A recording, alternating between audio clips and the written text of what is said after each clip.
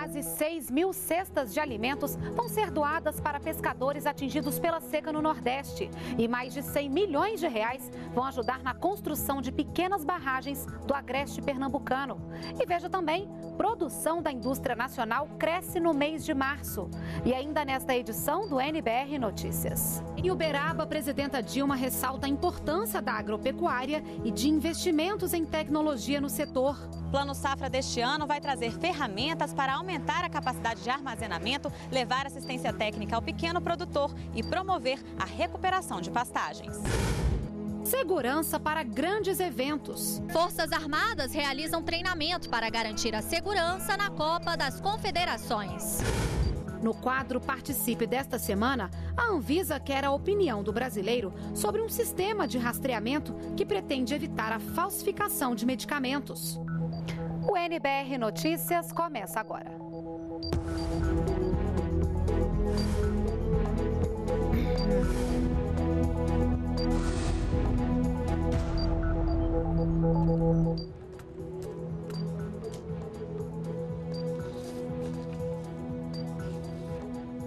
Olá, boa noite.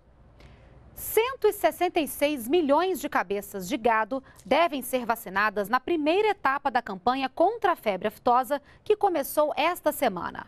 Hoje, em Minas Gerais, durante a exposição internacional de gado Zebu, a presidenta Dilma Rousseff lançou a campanha e falou sobre o novo Plano Safra. Durante a abertura da Exposebu, a presidenta Dilma Rousseff simulou vacinar um animal para marcar o lançamento da campanha de vacinação contra a febre aftosa. O combate à doença é essencial para evitar embargos à carne bovina brasileira. O Plano Safra da Agricultura e Pecuária, que vai ser lançado entre o fim de maio e o início de junho, também foi outro tema importante do evento. A presidenta Dilma Rousseff destacou vários itens que devem constar do Plano Safra deste ano. Entre eles está a criação de uma agência de extensão extensão rural, que levará assistentes técnicos para o campo. A intenção do governo com a medida é aproximar as tecnologias usadas pelos grandes produtores dos pequenos produtores e, assim, promover um desenvolvimento mais homogêneo da agricultura e da pecuária brasileira. A assistência técnica e extensão rural, ela consiste em levar avanços tecnológicos para os produtores que não têm acesso a eles, principalmente médios e pequenos.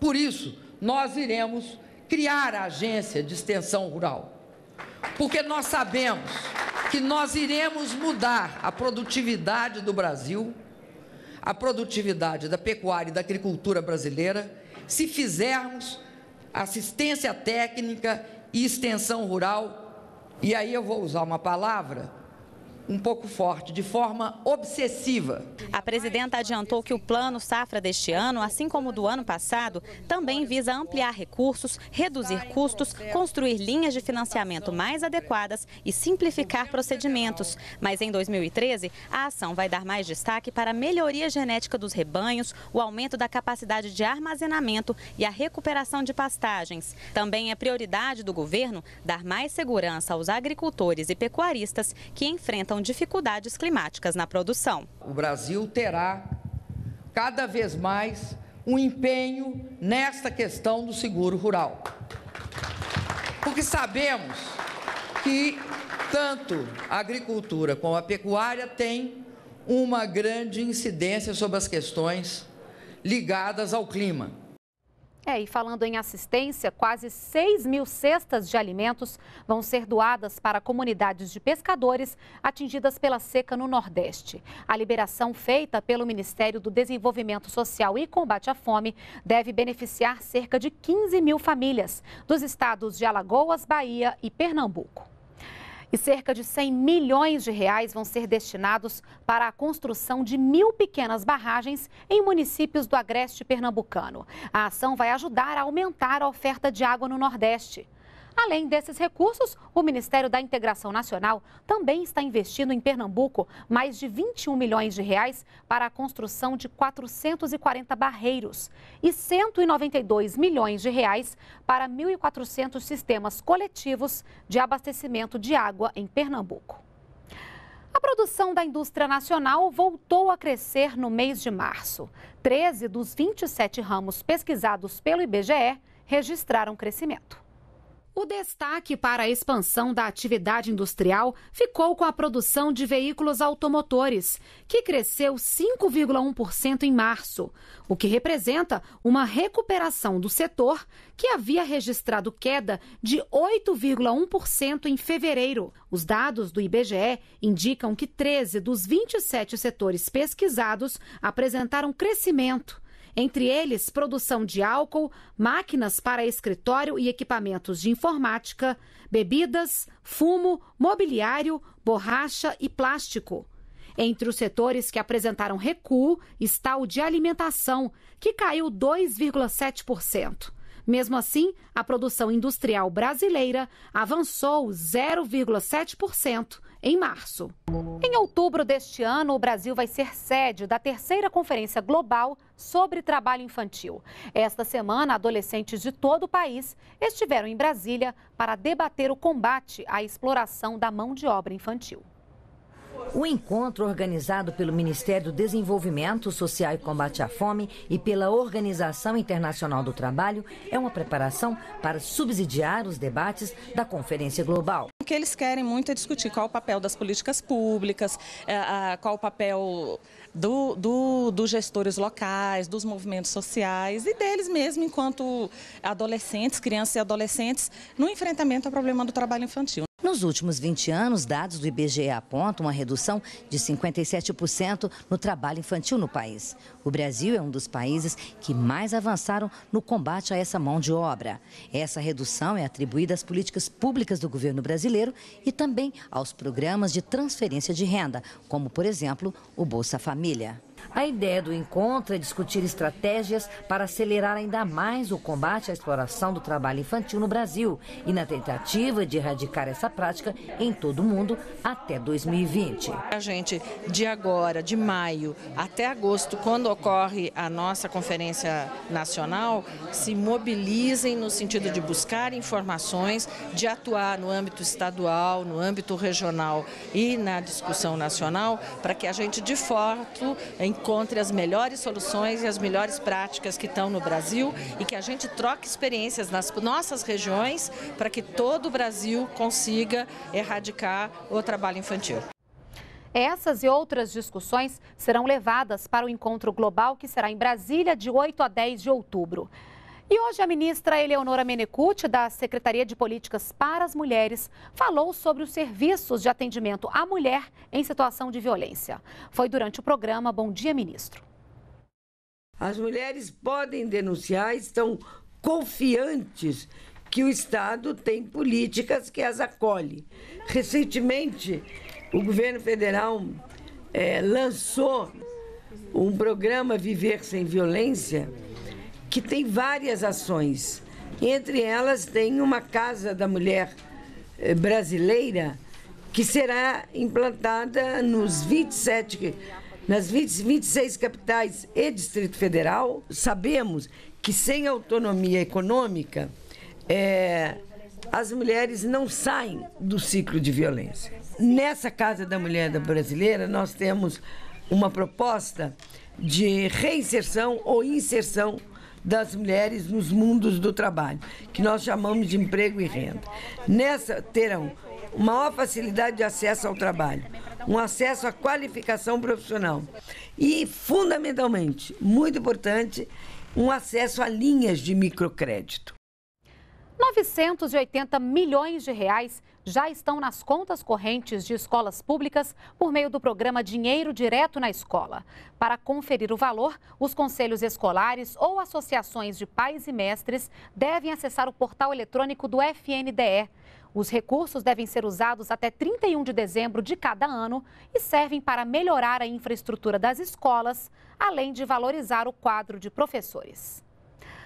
Mais segurança e controle dos medicamentos produzidos no Brasil.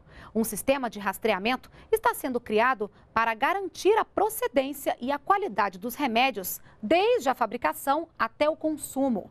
A ideia é acabar com a falsificação de medicamentos no país. E a Anvisa quer a opinião do brasileiro sobre esse sistema que pretende evitar essa falsificação. E este é o tema do quadro Participe desta semana.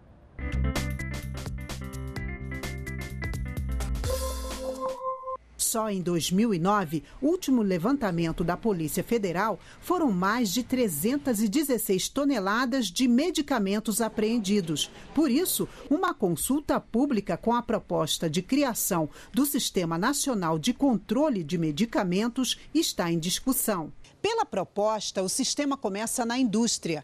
Cada medicamento deverá ter um número de identificação que vai garantir o rastreamento. Esse número vai estar registrado num banco de dados da Anvisa e cada local que o medicamento passar, informações vão sendo acrescentadas até ele chegar às mãos do consumidor. A tecnologia a ser adotada vai ser a do código bidimensional, parecida com a do código de barras, que já existe em muitas farmácias, mas que não é completa. Se o consumidor vai à farmácia e na hora de comprar esse medicamento, ele passa esse produto no sistema da farmácia e ah, ele não é identificado como sendo parte dessa cadeia, o consumidor vai poder dizer, eu não quero esse produto. Pelas regras, as indústrias vão ter seis meses e as farmácias e drogarias vão ter um ano para se adequar ao novo processo.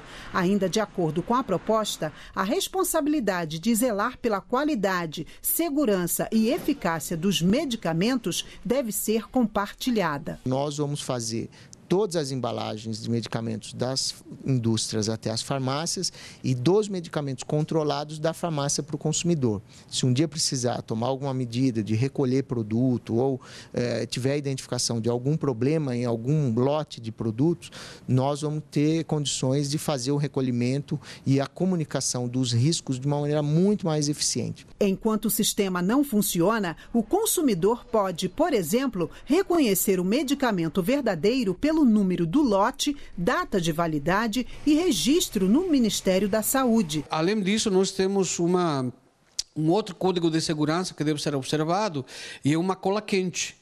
Quando a caixinha é aberta, é claramente possível saber se, se a caixinha foi aberta ou não, porque ela rasga. Quem quiser enviar sugestões sobre o Sistema Nacional de Controle de Medicamentos tem até o dia 9 de maio para participar. Basta acessar o site da Anvisa. E mais de 1.600 municípios já responderam uma pesquisa da Anvisa sobre vigilância sanitária no país. Mas alguns estados tiveram baixa participação. E é sobre esse assunto que a gente conversa agora com o repórter Paulo La Sálvia. Boa noite, Paulo. Boa noite, Renata. Sete estados ainda precisam intensificar o ritmo de envio dos formulários. Na região norte, Acre e Rondônia. No nordeste, Maranhão, Paraíba e Piauí. E aqui no centro-oeste, Goiás e Mato Grosso. Quem vai dar mais detalhes sobre por que é importante os municípios enviarem esses formulários é Patrícia Ferraz de Souza, da Anvisa. Boa noite, Patrícia. Quem deve enviar os formulários? Qual que é o prazo final para o envio e como deve proceder? Bom, boa noite, Paulo. É, as pessoas mais indicadas para preencherem esse formulário são os coordenadores municipais de vigilância sanitária, porque eles conhecem mais a fundo esse trabalho, o serviço da vigilância. Né? Esse formulário ele pode ser acessado no site da Anvisa, www.anvisa.gov.br. Lá tem um link para o formulário, está na página principal. É, e o formulário vai estar no ar no site até o dia 31 de maio desse ano. O que a Anvisa vai fazer com essas informações que ela está recebendo? Bom, essas, esse conjunto dessas informações vão, vai proporcionar para a Anvisa um diagnóstico bem amplo dos serviços municipais de vigilância sanitária. A ideia da Anvisa é, a partir dessas informações, que vai desde recursos humanos, financiamento, serviço de, de informação, ações né, de vigilância sanitária, é, pro, é propiciar a construção de projetos mais específicos para o porte dos municípios. A gente tem uma diversidade muito grande de municípios e aí é fundamental que esses projetos tenham mais a ver com a necessidade daquela localidade. Muito obrigado pela entrevista.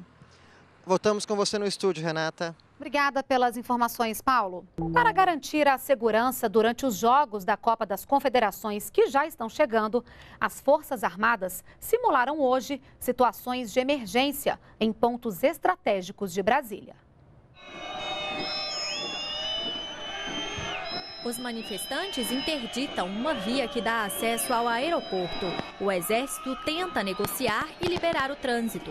Tudo isso durante a realização de um grande evento esportivo, a Copa das Confederações. Podia ser um confronto real, mas foi apenas uma simulação feita pelo exército nesta sexta-feira em Brasília. Cerca de 200 homens participaram da simulação, que contou com tropa de choque, cavalaria, uso de cães treinados e também de veículos blindados. Militares de Goiás, Tocantins, Distrito Federal e do Triângulo Mineiro participaram do treinamento em Brasília. Nós temos cenários levantados em situações típicas como essa que estamos vivendo de grandes eventos, já baseados, por exemplo, nos Jogos Pan-Americanos de 2007, nos Jogos Mundiais Militares de 2011, também na Copa do Mundo 2010 e Jogos Olímpicos de 2012. Então isso nos permite ter uma bagagem, ter um banco de dados bastante consistente para treinarmos segundo as ameaças já levantadas. Nos casos de confronto com os manifestantes depois da tentativa de negociação, podem ser usados armamentos e munições não letais para evitar feridos. Cacetete, é, balas de borracha, granadas de luz e som, água, desse tipo. O importante é a negociação por meio de palavras. Nós temos um negociador experiente ali, realmente experiente, que vai simular a negociação. O ideal é que a gente resolva com a negociação. A simulação da obstrução da via terminou com os manifestantes dispersados e nenhum ferido. Em maio, antes da Copa das Confederações, vai ser realizada uma nova semana de treinamentos. Tudo para garantir a segurança para a abertura da competição, dia 15 de junho, em Brasília. Nosso país tem uma tradição pacífica, ordeira e respeitado no mundo todo mas nós temos que considerar que seremos palco e receberemos aqui seleções de alguns países que têm histórico de ação terrorista em seu território. Neste domingo, a TV NBR vai exibir com exclusividade a apresentação do espetáculo Grande Suíte do Balé Dom Quixote, encenado pela Escola do Teatro Bolshoi no Brasil. Você não pode perder. A apresentação aqui na NBR começa às 9 horas da noite do próximo domingo, dia 5 de maio.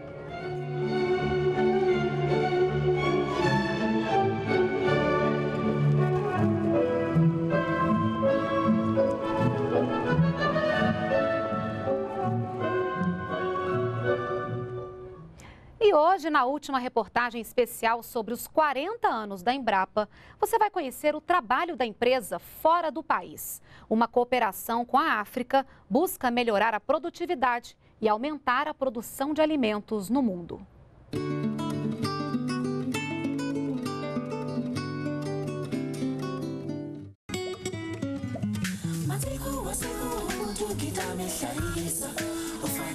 O Mali, no noroeste da África, tem quase 16 milhões de habitantes numa área equivalente à do estado do Pará. O país é o 13º na lista dos piores índices de desenvolvimento humano do mundo. Ali, a Embrapa coordena um projeto que atende também a três outros países da região, Burkina Faso, Benin e Chad. O Cotton 4, ou algodão 4, busca melhorar a produtividade com controle de pragas e melhoramento genético das variedades. A aplicação de inseticidas na África ele é calendarizado e o Brasil se propõe a construir um laboratório de criação de insetos e melhorar e avançar no manejo integrado de pragas. Em Moçambique são três projetos. O país de 24 milhões de habitantes no sudeste da África tem nas mulheres a principal força de trabalho no campo. Nove de cada dez moçambicanas trabalham e a maioria delas na agricultura.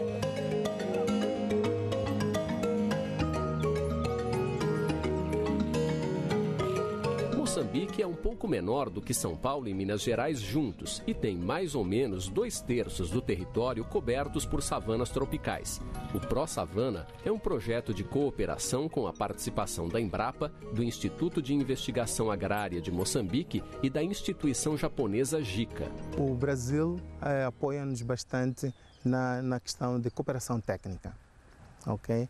E o Japão é, participa bastante na, na, naquilo que eles têm muita experiência de larga, de, larga, de largo tempo na cooperação internacional. Os pesquisadores do ProSavana trabalham para desenvolver a agricultura no chamado Corredor de Nacala, uma faixa de 56 mil quilômetros quadrados no norte do país que tem uma paisagem parecida com a do Cerrado brasileiro. O Brasil tem se destacado por uh, conduzir as suas cooperações no formato Sul-Sul. Formato Sul-Sul significa um país recém-saído do subdesenvolvimento, é, aplicando suas tecnologias em um país subdesenvolvido, sendo apoiado por um país rico. A Embrapa também participa de um programa com o objetivo de aumentar a produção de alimentos em Moçambique, país que tem o quarto pior índice de desenvolvimento humano do mundo. O projeto Pro Alimentos é executado em conjunto com as universidades americanas da Flórida e de Michigan. Mas a ideia não é simplesmente aplicar na África tecnologias desenvolvidas em outras partes do mundo. O projeto Plataforma, cooperação entre Moçambique, Estados Unidos e Brasil, trabalha para aperfeiçoar o sistema de pesquisa agropecuária no país africano, fortalecer a produção de sementes e formar pesquisadores.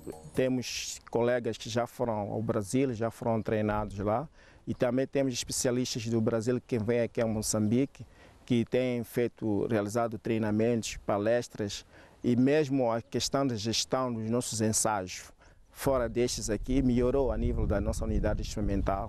A Embrapa também atua na coordenação de projetos estruturantes. A empresa busca oportunidades de financiamento com governos, instituições e organizações internacionais para promover iniciativas de interesse dos países que solicitam atividades de cooperação aqui na África, nós vamos ter que usar de toda a nossa capacidade, toda a nossa inteligência e usar da inteligência, da capacidade dos nossos parceiros africanos para, em conjunto com eles, podermos ajudar a resolver um problema específico, ajudar a capacitá-los para que eles possam, daí para frente, andar com as próprias pernas e resolver problemas de forma autóctone. O trabalho da Embrapa fora do Brasil se completa com os laboratórios no exterior, os LABEX, que estão nos Estados Unidos, França, Inglaterra, Alemanha, China, Japão e na Coreia do Sul atuação da Embrapa em outros países responde a um princípio expresso na Constituição Federal. Ali se determina que o Brasil deve atuar em conjunto com outros povos para o progresso da humanidade. A Agência Brasileira de Cooperação do Ministério das Relações Exteriores coordena esses projetos. Nós uh, também prestamos cooperação uh, com os países, uh, basicamente do Hemisfério Sul, no entendimento que não é necessário adotar políticas específicas de governo na área de direitos humanos, por exemplo, ou uh, de maior transparência ou de melhor governança. Isso não quer dizer que a política externa brasileira não tem uma posição uh, para esses temas, só que nós consideramos que esses temas devem ser tratados em foros específicos e não devem ser mesclados com atividades de cooperação técnica.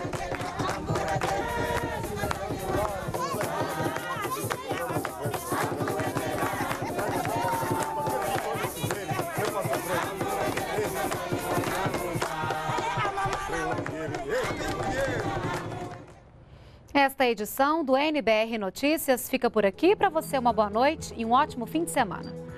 Continue com a gente aqui na NBR, a TV do Governo Federal.